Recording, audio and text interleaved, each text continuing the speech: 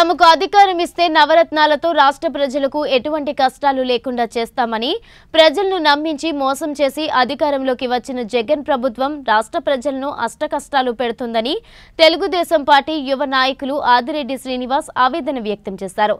స్థానిక మెయిన్ రోడ్లో జగన్ ప్రభుత్వ వ్యతిరేక విధానాలకు నిరసనగా నవరత్న ఆయిల్ను పంపిణీ చేశారు. ఆదిరెడ్డి వాసు మాట్లాడుతూ ఎన్నికల నేపథ్యంలో జగన్ ప్రకటించిన నవరత్నాలు ఒక్కొక్కటిగా రాలిపోతుందని విమర్శించారు.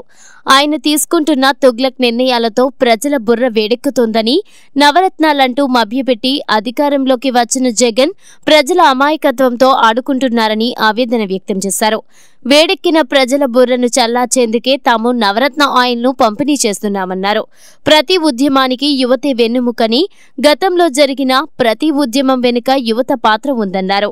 ఈ కార్యక్రమంలో మాజీ కార్పొరేటర్ కురగంటి సతీష్ టీఎన్ఎస్ఎఫ్ తెలుగు యువత నాయకులు లోకేష్ జయరాం ఖాన్ వల్లి భాష భూషణం రెడ్డి వివిధ కళాశాలలకు చెందిన యువకులు పాల్గొన్నారు.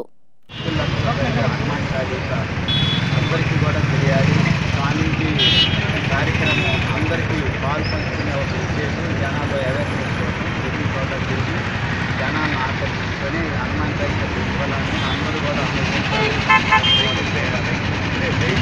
రాజబడి ఈ ర్యాలీతో ముఖ్యస్తులుగా ఇద్దరు లోకరాజు అన్నాయన తర్వాత వీరరాజు అన్నాయన వీళ్ళిద్దరు ఆధ్వర్యంలో శ్రీరంగ యూనివర్సిటీ ఇద్దరు ఈ రాజబడి నూట యాభై కోట్ల మంది ఈ ర్యాలీలో పాల్గొన్నారు అయితే ఈ కార్యక్రమానికి వచ్చిన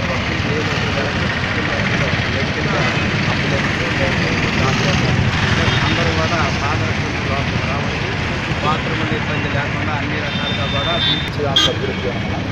జై శ్రీరామ్. ఓం నమో హనుమతే నమః.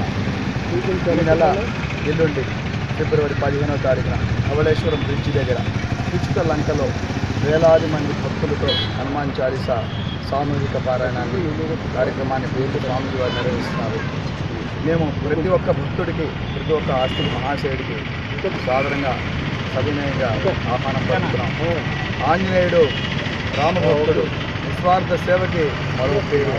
అలాంటి మహనీయుడిని తలుచుకునే మహత్తరమైన కార్యక్రమం ఈ హనుమాన్ చాలీసా పారాయణ కార్యక్రమం. అది హనుమంతుడి పండుగ కాబోతోంది. వేలాదిగా భక్తులు రాబోతున్నారు. అక్కడ వేలాదిగా వచ్చే ఆ భక్తులందరికీ సౌకర్యంగా పారాయణ చేసుకోవడానికి కావాల్సిన అన్ని రకాల ఏర్పాట్లు చేయడం జరిగింది. అక్కడ వాళ్ళు వారికి